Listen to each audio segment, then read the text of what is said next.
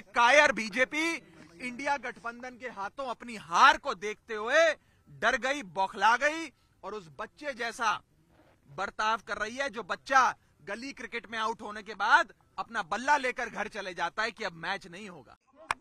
अपनी हार को सामने देख, एक डरी हुई, बौखलाई हुई कायर बीजेपी चुनावों को रद्द करना चाहती है। आप सब जानते हैं कि इस चुनाव में साफ़ मेजॉरिटी साफ़ बहुमत इंडिया गठबंधन के पास है। ये पहला सामना है, पहला मुकाबला है। भाजपा का। और इस चुनावों में साफ़ तौर पे बहुमत इंडिया गठबंधन के पास है। आप जानते हैं कि कुल मिलाकर 36 मतदान होने हैं। 36 में से 20 से अधिक वोट इंडिया के पास हैं और 14 से 15 वोट भाजपा के पास हैं। यानी कि साफ़ तौर पे इंडिया गठबंधन ये चुनाव जीतने जा रहा है। इस देश को क्या नॉर्थ कोरिया बनाना चाहती है भाजपा? कि चुनाव ही रद्द करा दिए जाए?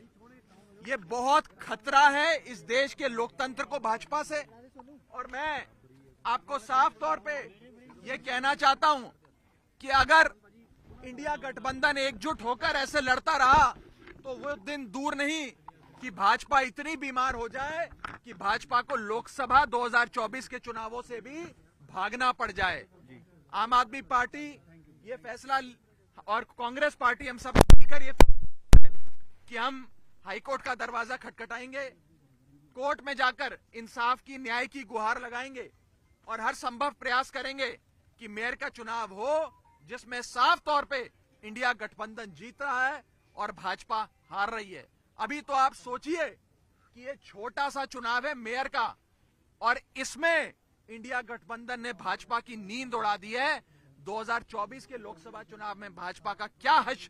इंडिया गठबंधन और भारत की 135 करोड़ आबादी करेगी आप सोच सकते हैं। इलेक्शन प्रशासन से यही विनती करेंगे कि अगर एक प्रिसाइडिंग अफसर बीमार हुए हैं तो आप दूसरा प्रिसाइडिंग अफसर नियुक्त कर दो। जिस मर्ज़ी को चाहे नियुक्त कर दो। लेकिन चुनाव आज स्केड्यूल्ड थे, निर्धारित तारीख थी, आज चुनाव होना था।